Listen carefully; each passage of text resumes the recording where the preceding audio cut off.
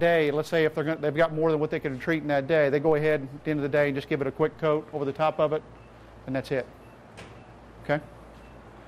So if it's late fall when we start to get into some weather challenges, and obviously this product has some huge advantages because it's gonna, it can sit there as long as it needs to. Again, no exposure limitation to it. But the real key is just getting everything coated. Okay? Any questions? Is it typical that it has to be applied at a certain temperature and it can't be lower? Same temperature requirement of 40 degrees. But what the, the advantage to this versus the flashing tape is that it might not be two hours, but let's say in six hours it's going to be black. And so once it turns black, it can get down below those temperatures because it's already dried and cured at that point. Okay? I mean, you wouldn't want to do it at this. I wouldn't want to go out at 35 degrees and put this material on. The temperature minimum is 40 degrees. But even in late fall in the northern part of the Midwest, there's a lot of days where it gets 70 degrees in you know the middle of the day, but at night it gets down to you know high 20s. And so with that in mind, you could treat this during the day and it's going to be fine. Go ahead and put the windows in, put the pan in, put the head flashing in, so on and so forth. That way they can get the building weather tight. Okay? Um, last thing, like I said, if you don't wash this out immediately, it's, it's toast. You might as well just throw it away. Okay? One thing I didn't mention, and I'll just kind of recap a little bit. Right at your foundation, it has to be treated. Horizontal and vertical expansion joints have to be treated. All your penetrations and openings. But the number one area that I see in most markets that's not getting treated prior to the wood blocking going on is at the parapet. It has to be treated two inches onto the face of the sheathing, up on the back of the framing member prior to the wood blocking going on for your parapet cap. Take a look at your details. And so recognize that's going to be an important place because third party inspection is going to pick up on that. You've got to make sure that they wrap that prior to the wood blocking going on. Okay? You can see that everything's pretty much turned black. You can see a little bit of the blue and a little of the other areas, but it's not quite where you'd want it. But at this point, all we'd have to do now is just coat it one more time and it's done.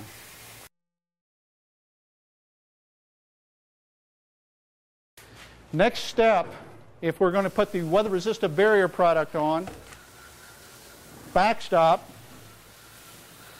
and there's two different versions. Backstop NT texture, which you can see the label if somebody wants to take a look at that. That's the version that's utilized to treat the joints in every case. If you're going to trowel over the entire wall surface with that same product, you don't have to spot the fastener heads. But if you're going to use the roller applied version, which is called Backstop NT Smooth, then you have to go through and spot every fastener, treat all the joints. Then come back and over DensGlass, you've got to roll two coats of the smooth. What you'll find is that by the time all I have to do is put the self adhesive 4 inch grid tape over all board joints, inside and outside corners.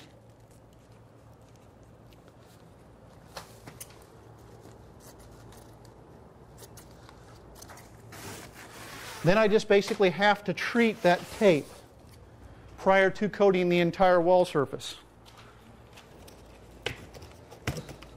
So the texture is a thicker viscosity, thicker thickness, in other words. So when you take a look at it, it's a trowelable consistency for anyone that hasn't seen it. Thanks for cleaning those up, Tom.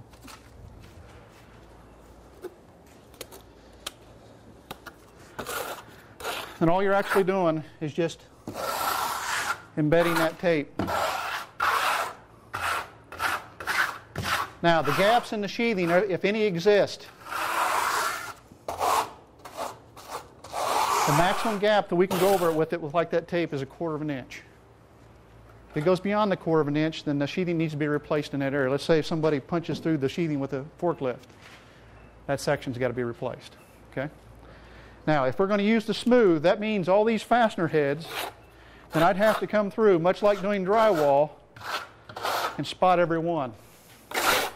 If I'm just going to use the texture and trowel it, then all I actually have to do after I treat the joints, wait till you can't disturb it, and just for the sake of demonstration, I'm going to go ahead and coat it now. Just imagine we're 30 minutes down the road.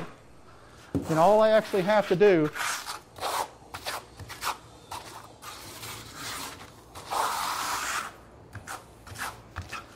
is coat that surface.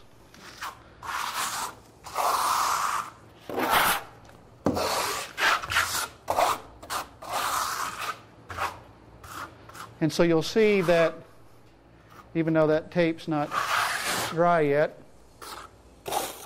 then I just coat the surface and it's done.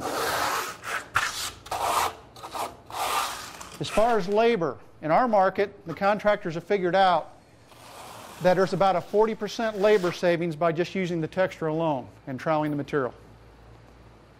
And so that's pretty much across the board what a lot of the firms do. If some of the firms have less skilled labor, then they will use the smooth and have somebody, you know, hand them a paint roller. Otherwise, you just coat it and move on.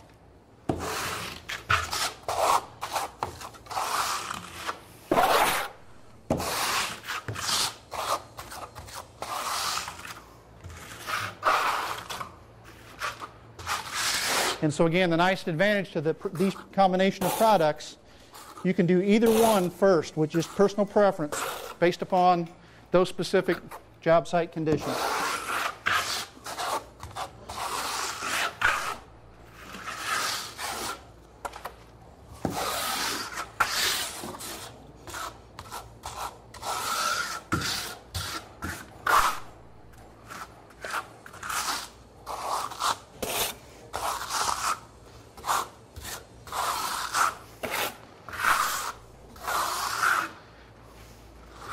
And so when you're all said and done, with a combination of products, the only thing that you should see on that wall is either backstop, the blue material, and aqua flash or flashing tape. That's it. You shouldn't see any framing member, any sheathing members anywhere. Base of the wall, top of the wall, all penetrations and terminations. Just use this as a gauge. Once this dries, if there's a GP emblem, even when you put two coats on it, you're always going to see that emblem read through. But you won't see the yellow. And so there's no way with one coat when you roller apply it that you're going to get to that point. The other important consideration, what's the coverage? It's all dependent upon the specific substrate that's involved. DensGlass is different than exterior gyp sheathing versus you know, exposure one plywood versus, ma- versus masonry block. So as an example, typically what I would recommend over masonry block is a, is a parge coat of Genesis, then go with a trowel version or a rollered version backstop NT. It's just a much more economical uh, and feasible so that you get that filled in and get your monolithic weather barrier. It's not that it's required over that masonry surface, but when specified, it's becoming commonplace here. Okay? So recognize that the different substrates have a listed different coverage rate, so just refer to your specifications and details for that specific uh, project.